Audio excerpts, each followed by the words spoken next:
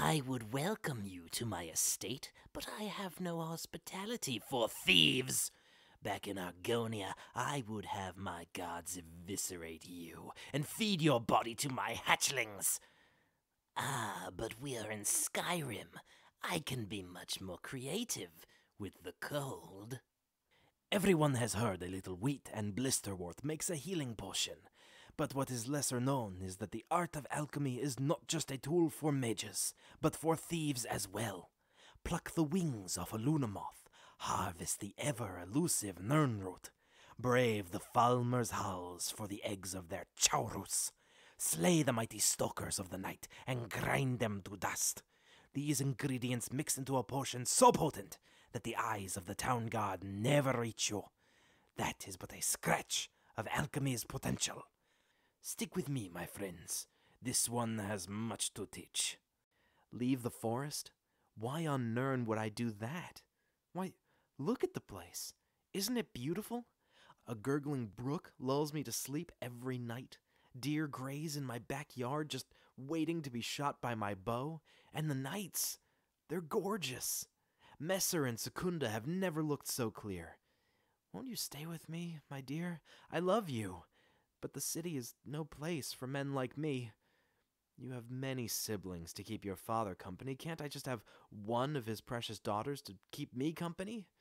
Stay with me and become the queen of my forest. We can live the remainder of our years amongst the Everglades.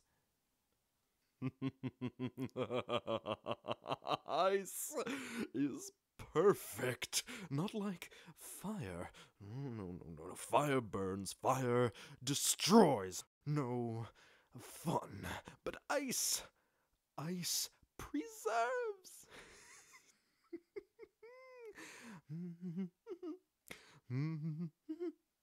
oh, everything is all here. Femurs, tendons, fibia, carpals, tarsals, vertebrae, they're all here. and the skull!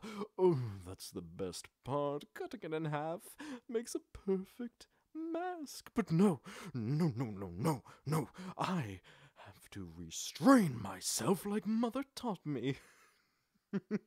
oh, this one needs his skull. Oh, I miss you, Mother. You used to punish me so often. I learned so much. I started punishing others. I even got so good. I punished you as well.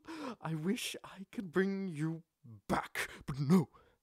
I used fire. Fire is no good. Ice is perfect. Ice freezes everything.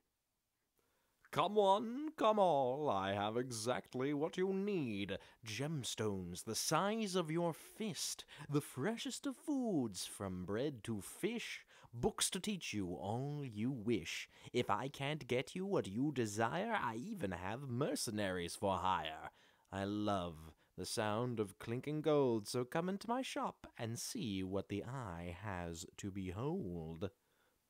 Ah, hello there. Come, join us.